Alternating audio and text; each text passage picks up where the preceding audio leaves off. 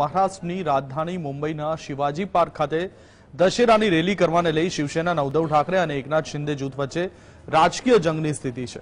આ રેલીને શિવસેનાના સંસ્થાપક સ્વર્ગસ્થ બાળાસાહેબ ઠાકરેના રાજકીય ઉત્તરાધિકારીત્વ સાથે સાંકળીને પણ જોવાય છે. ઉદ્ધવ ઠાકરે અને એકનાથ શિંદે વચ્ચેનો જંગ શિવસેનાના પ્રતિક ધનુષબાન કે અસલી શિવસેના કોની એ પૂરતો રહ્યો નથી. તેનાથી ઘણો આગળ વધી ગયો છે. બંને વચ્ચે હવે દશેરાની રેલીને લઈને જંગ જામ્યો છે. દશેરાની રેલી બાબા સાહેબની વિરાસતનો એક મહત્વનો હિસ્સો છે. શિવસેના છેક ઓગણીસો થી શિવાજી પાર્કમાં દશરા રેલી યોજે છે. તેમાં થતી ભીડ શિવસેના માટે શક્તિ પ્રદર્શનનું માધ્યમ છે. કોઈ પણ રેલી યોજવી હોય તો તેના માટે પોલીસ વિભાગમાંથી મંજૂરી જરૂરી હોય છે.